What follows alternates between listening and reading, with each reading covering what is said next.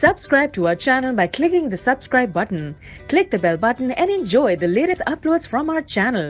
फातमा आपको अपने शाही किचन में करती हूँ वेलकम तो आज मेरे किचन में बन रहे हैं सॉसेजेस वाले राइस चिकन सॉसेजेस राइस बनाने के लिए हमें जो चीज़ें चाहिए, उसको नोट डाउन कर लेते हैं ये मेरे पास दो पैकेट सॉसेजेस के हैं इसके साथ मेरे पास ये मसालों में है लहसुन, हरी मिर्ची जिंजर को मैंने लंबाई रुख काट दिया दो डली प्याज दो टमाटर, ये मेरे पास तीन ग्लास चावल हैं, जिनको मैंने आधा घंटा पहले भिगो के रख दिया। एक कप ऑयल है।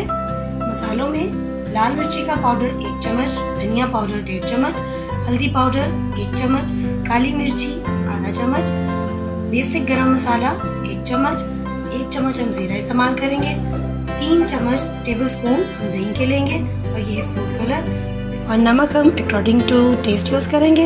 बिस्मिल्लाहिर्रहमानिर्रहीम की बरकत के साथ शुरू करते हैं अपनी रेसिपी बिस्मिल्लाहिर्रहमानिर्रहीम की बरकत के साथ हम डालेंगे ऑयल जैसे ही ऑयल गर्म होगा तो मैं इसमें अपना प्याज डालूँगी। ऑयल मेरा गर्म हो चुका तो हम इसमें प्याज डालेंगे। और ये लहसुन और हरी मिर्ची मैंने रखी है उसके पेस्ट बनाएँगे। देर में मेरे प्याज है ब्राउन होंगे? देर में दोनों पेस्ट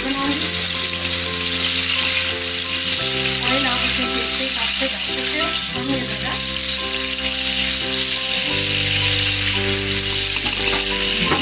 ये प्याज हमारे ब्राउन हो रहे हैं इनको बहुत ज़्यादा काला नहीं करेंगे, बस हल्का सा गोल्डन ब्राउन करेंगे। मैंने देखा तो प्याज मेरे मेरी रिक्वायरमेंट के मुताबिक हो लगे तो अब हम इसमें डालेंगे ज़ीरा।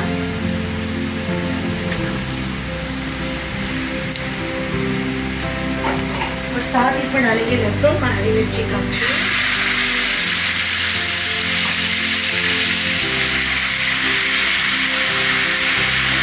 तेल डालने के बाद एक मिनट इसको भूनेंगे और हम इसमें डालने के लिए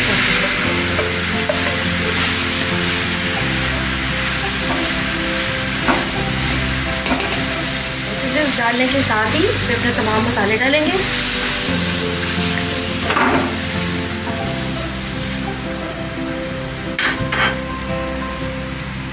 साथ ही हम इसमें अपने टोमेटो डालेंगे और जीरा डालेंगे।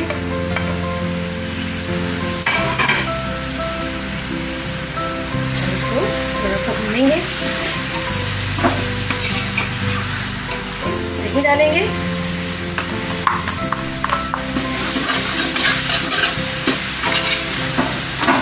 दही डालने के बाद हम इन तमाम चीज़ों को पाँच मिनट तक थोड़ा सा इसको पानी का छीटा दूँगी ताकि जो दही जो लगा हुआ रह गया बर्तन, वो भी साफ़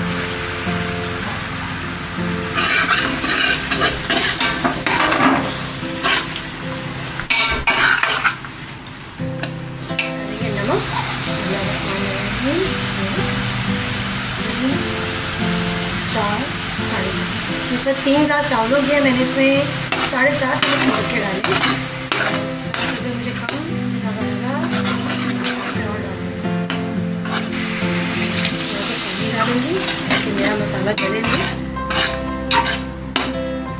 बड़ी ही जल्दी मज़ेदार हमारे सॉसेजेस के राइस रेडी होंगे चला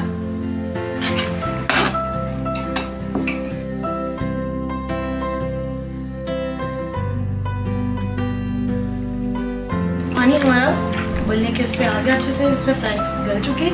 हम मैं अपने राइस डालूँगी इसमें। राइस को मैंने स्टेनर में डाल दिया था ताकि सारा एक्सेस वाटर जो है स्टेन हो जाए अच्छे से।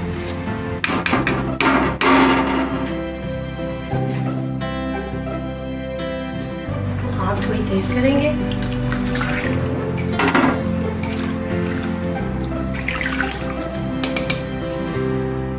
बस ये देखिए, चावल हमारे पानी में पकने शुरू हो गए। जैसे ही थोड़ा सा ये और पकेंगे तो मैं इनको दम लगाऊँगी। फिर आपको फाइनल लुक दिखाऊँगी देख सकते हैं कि चावलों में पानी जब कितना रह जाए तो अब हम अपने चावलों को दम लगाएँगे। दम लगाने से पहले मैं इसमें फ़ूड कलर ऐड करूँगी। दिया अब मैं अपने चावलों को दम लगाऊँगी। उसके बाद आपको दिखाएँगे इसके फाइनल लुक तो आप देख सकते हैं कि हमारे राइस रेडी है। चावलों का दम आ चुका, अब मैंने डिश आउट करेंगे। तो फिर आपको दिखाते हैं। तो बिस्मिल्लाहिर्रहमानिर्रहीम की बरकत के साथ हमारे सॉसेजेस वाले राइस रेडी हो चुके और मैंने डिश आउट भी कर लिए। तो एंजॉय कीजिए अपनी फैमिली के साथ और प्लीज़ मेरे चैनल को लाइक करें शेयर करें और सब्सक्राइब करें। तो फिर मिलेंगे आपके साथ अगली रेसिपी में। अल्लाह हाफिज़।